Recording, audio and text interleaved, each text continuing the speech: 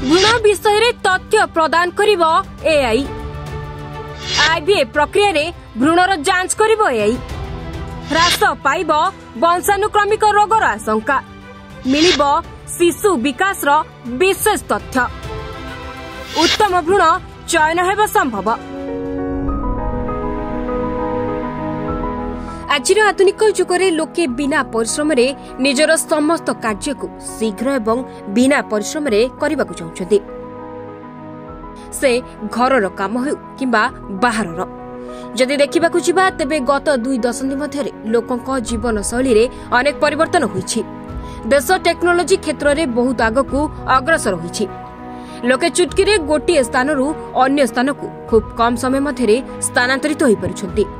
ଯଦି ଘରର କଥା କହିବା ତେବେ ଘର କାମ ମଧ୍ୟ ସହଜ ହୋଇଯାଇଛି। ତେବେ କମ୍ ସମୟ ମଧ୍ୟରେ ଏବଂ ବିନା ପରିଶ୍ରମରେ ନିଜ କାମକୁ ଶୀଘ୍ର କରିବାର ନିଶା ଲୋକଙ୍କ ଭିତରେ ଏତେ ମାତ୍ରାରେ ବଢ଼ିଯାଇଛି ଯେ ଏବେ ଏଆଇ ଭଳି ଟେକ୍ନୋଲୋଜିର ସାହାରା ନେବାକୁ ଆଗଭର ହୋଇପଡ଼ିଛନ୍ତି।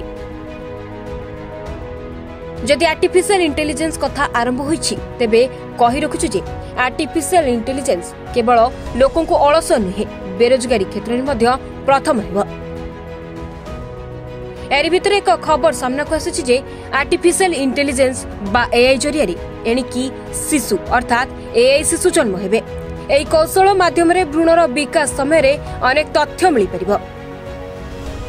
ଭ୍ରୂଣର ସଫଳତା ହାର ଓ ବଂଶାନୁକ୍ରମିକ ରୋଗ ସଞ୍ଚାର ଆଶଙ୍କା ଆଦି ବିଷୟ ଏଆଇ କୌଶଳ ଦ୍ୱାରା ଜଣାପଡ଼ିବ।